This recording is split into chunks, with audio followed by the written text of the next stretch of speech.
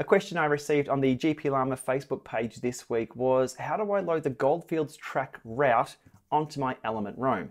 Well, the Goldfields track route is something I've had my eye on for a while. It's a 210 kilometer mountain bike slash walking trail right near here, split up into a few sections. It turns out the process was pretty simple because the Goldfields track website has the GPX files to download and sync up with your devices. So what I'm going to run through today is how to sync it up to the Elemnt Roam, which is also exactly the same process for the original Elemnt and the Elemnt Bolt.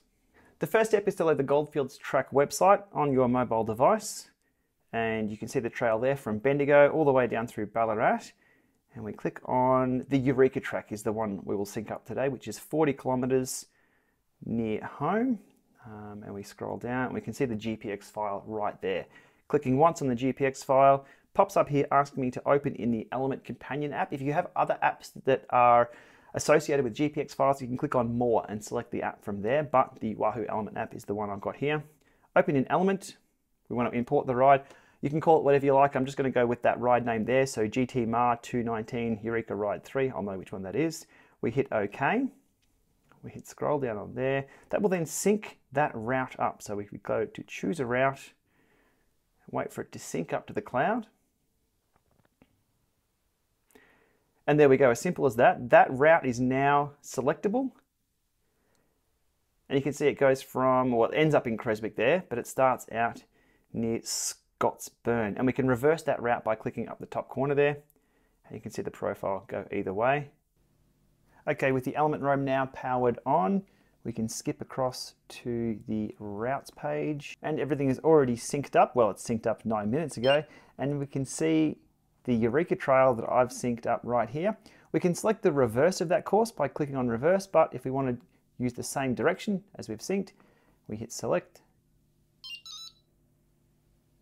Okay, now because I'm not near the start, I'm 15 kilometers away, it's asked me do I want to route to the start. I'll hit no on that, but what we can do is go and have a look at the turn-by-turn -turn navigational cues here on the Roam and scrolling down, scrolling down all through the turn-by-turn -turn cues that the Roam has generated right through to the arrive. Awesome, we are good to go. And on this page here, I have the elevation profile shown for the route so I can follow along as I hit that right. You can also put the elevation profile on the map screen through the companion app.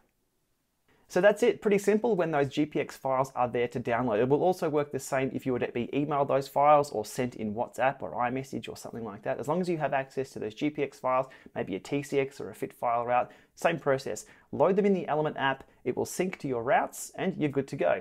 Next time you boot up and sync your Elemnt Roam or your Bolt or your Elemnt, they will then be there selectable on the list and away you go. Remembering the Roam has the smarts to give you turn-by-turn -turn navigations with street names as well. So that's an added bonus there for the Roam. The Bolt and the Elemnt will just have your breadcrumb trails unless you've created those routes within a service that exports those cues. So there we are, happy trails. And remember, if you're an event organizer or you're sending out a route to your friends, if you can supply them with a GPX file or a route file, it is happy days. And as easy as that to sync things up. Okay, thanks for watching.